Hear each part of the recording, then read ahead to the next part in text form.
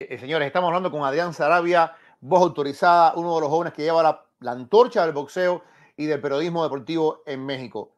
Como decía, Tijuana es la capital del boxeo mm, mexicana, donde están la mayor cantidad de gimnasios, incluso después quiero hablar contigo una cosa de MMA eh, por el Entran Gym.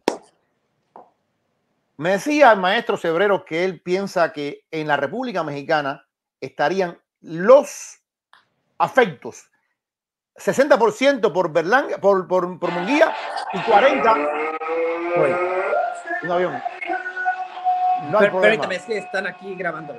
Está bien, está bien, está bien, está muy bien. Está muy bien, está muy bien eso. Me, me gusta que estemos aquí en vivo y hablando. Eh, ah, van, a seguir, van, a seguir, este. Algo, ¿Ya no? Es que pues estáis un enlace, pero. Las ¿puedo? Ah, gracias. Bueno. Perdón, aquí estaban aquí con un. no hay problema. Un, promocional. No hay problema. Ahí no hay problema. Ahora sí. A mí me, me encanta, me, me, encanta eso. Eh, ¿Cómo tú ves? Y bueno, tú estás en una ciudad donde no vale la pena preguntarlo, porque en Tijuana todo el mundo va a estar con Berlanga, me imagino yo. Sí. Pero en la República Mexicana, ¿cómo, cómo, ¿dónde estaría la gente a favor de quién? ¿De Canelo o de, o, de, o de Munguía? Fíjate que es una excelente pregunta, Ebro, porque eh, yo siento, y lo hablaba con Eduardo Martel también, eh, yo siento que sí se dividiría un poco en los Estados Unidos, ¿no? Porque Canelo tiene su gente, ¿no? Los, los mexicoamericanos que radican en Estados Unidos tiene su gente y desde hace muchos años eh, llena las arenas. Es el aficionado no, casual del boxeo, ¿no? Es, la verdad no es el, el aficionado de tradición boxística, ¿no? De años, ¿no? Pero, pero es la gente que hace millonarias las peleas de Canelo, ¿no?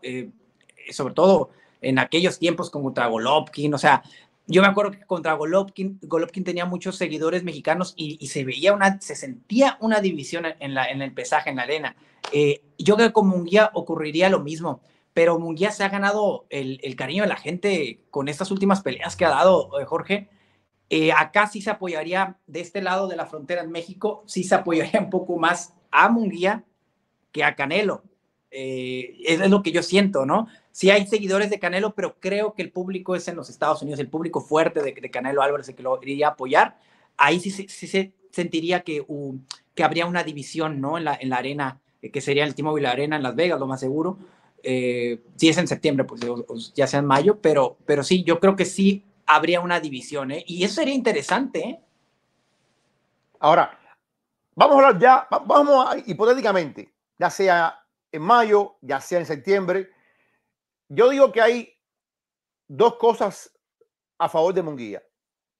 La fuerza que tiene, que es muy fuerte, y hemos visto que aguanta mucho. Y segundo, yo creo que tiene un buen equipo de trabajo. Yo creo que el terrible Morales hizo cosas positivas con él, lo mejoró. Del Munguía de aquel principio que recogía mucho golpe, yo creo que, el terrible lo mejoró. Pero vimos un Munguía mejor todavía, todavía con mejor. Freddy Roach. Creo que fue el, mejor acierto, ¿eh? Con Freddy Roach.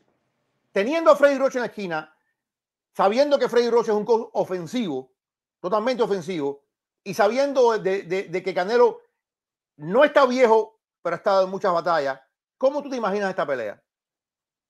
Mira, yo creo que Munguía sí va a tratar de, presionar a, Canelo Álvarez. Eh, aquí la virtud de Canelo Álvarez es la defensa, se sabe quitar golpes. Eh, es un peleadorazo Canelo Álvarez, eso no, está en discusión. Eh, sí se puede quitar los golpes de, Munguía en, lo defensivo. Hemos visto el crecimiento eh, notable en la defensa de, Canelo Álvarez y es el, factor a favor de Munguía, porque Munguía apenas lo vimos en una pelea que mejoró boxísticamente contra John Ryder, peleador duro, guerrero y, digno, ¿no? Es una buena prueba, pero con sus limitaciones, ¿no? Entonces, eh, yo veo a, Jaime Munguía hasta cortándole el ring a Canelo Álvarez, pero, pero la, la, la prueba va a ser cachar a Canelo Álvarez. ¿Qué, ¿Qué, tanto te va a aguantar la pegada? Porque Golovkin lo puso a prueba y le aguantó la pegada. Entonces, no, no, no sé si pareja la pelea. Creo que sí veo favorito a Canelo Álvarez, la verdad. Pero sí atractiva, ¿no? Creo que Jaime no se va a morir de nada. Pues eh, eh, eso es a lo que nos tiene acostumbrados. Sería una decepción si Jaime entre una mala pelea como la de Chávez Jr., por ejemplo, que no hizo absolutamente nada en el ring, porque Jaime ya está acostumbrado a dar un tipo de espectáculo que a la gente le gusta eh, arriba, arriba del ring. Lo que a la gente le gusta, eh, no, no, no estamos descubriendo el hilo negro ni nada, a la gente le gusta ver golpes, intercambio, y lo que Jaime Munguía te lo da. Ahora, si lo mejoras como lo ha hecho, que ya moviendo más la cintura, administrando más los golpes, no irse desbocado a, querer noquear al rival porque y luego que le metían las manos, así le pasó con Derevyanchenko. Es el tipo de pelea que veo, bro. Es qué tanto le va a aguantar la pegada eh, Canelo a Munguía y viceversa también. Eh, Munguía, pues, Munguía también nos ha, demostrado que aguanta, eh, que aguanta, que tiene quijada. Eh, es difícil tumbar a Munguía o, noquearlo, ¿no? Pero ese es el tipo de pelea que, que, veo. Sí, sí, sí, que lo va a apretar, pero Canelo, pues sabemos esas, esos dotes no técnicos que tiene defensivamente hablando. Ahora, hay otro factor también que tiene que ver en esta pelea y es el factor motivación. El factor motivación de que Canelo ya lo ha hecho tantas veces. Yo siento con este, con este baile de buscar el rival y buscar el rival, que la gente se va cansando y cansando y cansando. Yo siento que, esto es una muestra. Hay mucha gente que cree que Canelo ya vio pasar los mejores días, que esta versión de Canelo es una versión de meseta, una versión de, de ir tirando, como decimos los cubanos, de ir aguantando, pero sin grandes sobresaltos. ¿Cómo puede ser el factor motivador para un muchacho como Munguía, que ya no está muchacho, que en alguna vez quería pelear contra Golovkin y no lo dejaron, pero que ahora ya está en su prime? ¿Cómo sería el factor de, decir, caramba, este subió la montaña, pero yo quiero subirla? ¿Cómo sería eso? Híjole, sí, sí es un reto mayúsculo para la carrera de Jaime Munguía de ganar, imagínate de lo que te estoy hablando, de ganarle a Canelo Álvarez. Eh, yo, yo la verdad, a ver, esta pelea si te soy bien sincero, yo no la veía este año, ¿eh? O sea, Canelo Munguía. Yo no la veía este año porque, mira. un contrato, pero, pero, eh, Adrián, esto es lo que pasa. Habría un contrato firmado para dos peleas más con PBC. Nadie veía esto. Esto es una sorpresa tremenda. No, no, no. Nadie veía esto ni el rompimiento con PBC. Pero, a ver, Munguía, eh, el tema Munguía, ellos ya sabían, eh, de hecho, ellos, eso te lo puedo asegurar, el equipo de Munguía ya sabía que había problemas con, con PBC. O sea, ellos ya, ya, sabían de eso. Eh, y, estaba negociando ya, ya, ya, se, ya veían venir que, Canelo no iba a, continuar con ellos, ¿no? Eso ya sabía desde la semana pasada, entonces ah, se, da, ah, se ventila estos, estos últimos días, pero la gente de Munguía está muy reservada, ellos quieren sí o sí esta pelea, yo te puedo asegurar que, que les da igual si es para mayo o, septiembre, lo que quieren es firmar una pelea con, con, con Canelo Álvarez. Ahora, te voy a comentar algo muy interesante y que pueda alimentar la rivalidad de Canelo con, con Munguía. Hay como una especie de rencillas que no la, no la hacen notar el equipo de Canelo Álvarez desde que Canelo mencionó que Vivol contra Munguía sería una pelea fácil. Que sí, Vivol contra Munguía sería una pelea fácil.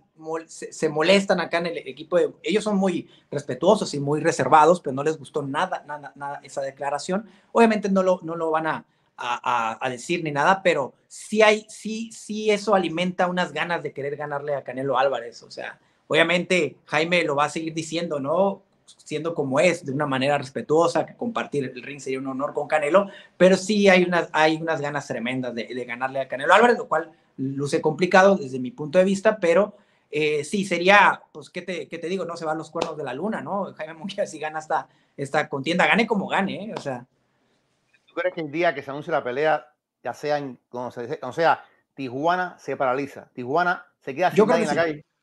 Yo creo que sí, yo, yo creo que sí, sí llamaría mucho la atención porque te podría decir que Jaime Munguía no nada más de Tijuana, ¿eh? te podría decir que es el, junto con el vaquero, ¿eh? también se lo ha ganado.